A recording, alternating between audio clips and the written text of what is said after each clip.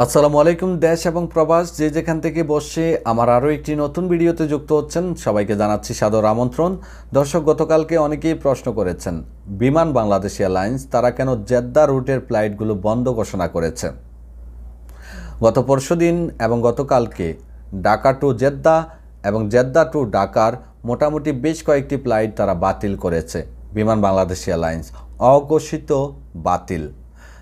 কোনো ঘোষণা না দিয়েই বিমান বাংলাদেশ এয়ারলাইন্স বেশ কয়েকটি ফ্লাইট বাতিল করেছে আর এতে হাজার হাজার প্রবাসী পড়েছেন বিপাকে। অনেকেরই করোনা রিপোর্টের মেয়াদও চলে গিয়েছে। গতকাল যমুনা টিভির একটা রিপোর্টে দেখতে পেলাম। মানুষ আক্ষেপ করছেন, হাই উতাস করছেন, আফসোস করছেন যে আমাদের করোনা রিপোর্টের মেয়াদ চলে গেছে, আবার কারও কারও ছুটির মেয়াদও প্রায় শেষ হয়ে গেছে। অনেকেই ফিরতে পারবেনও না।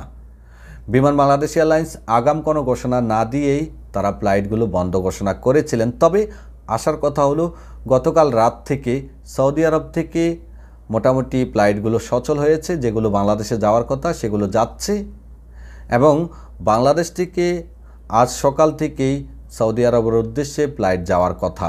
যমুনা টিভি রিপোর্টে জানতে পারলাম, যতটুকু আমরা বুঝতে পেরেছি, এই ফ্লাইটগুলো বাতিল হওয়ার কারণ হলো ফ্লাইট এবং ক্রুদের ডিউটির শিডিউল সমস্যার কারণে ফ্লাইটগুলো তারা বাতিল করেছে। তাদের ডিউটির শিডিউল সমস্যার কারণেই ফ্লাইটগুলো তারা বাতিল করেছে।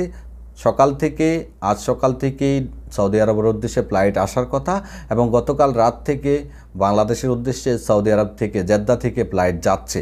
এখানে আপনাদের বোঝার সাথে বলে দিচ্ছি, রিয়াদের উদ্দেশ্যে কোনো সমস্যা নেই এবং রিয়াদ থেকে যাওয়ার ক্ষেত্রেও কোনো সমস্যা নেই। বিমান বাংলাদেশ এয়ারলাইন্সের রিয়াদের রুটের ফ্লাইট সম্পূর্ণ স্বাভাবিক আছে, ফ্লাইট বন্ধ হয়নি, কোনো ফ্লাইট বাতিলও হয়নি, দাম্মামের ক্ষেত্রেও একই, কোনো সমস্যা হয়নি।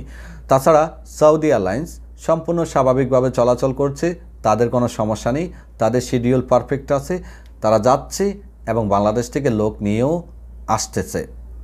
লোকাল এয়ারলাইন্সগুলোও ঠিকভাবে চলাচল করছে, শুধুমাত্র বিমান বাংলাদেশ এয়ারলাইন্সের একদিন দেড় দিন, প্রায় দেড় দিন তাদের শিডিউল তারা বাতিল করেছিল জেদ্দা রুটে।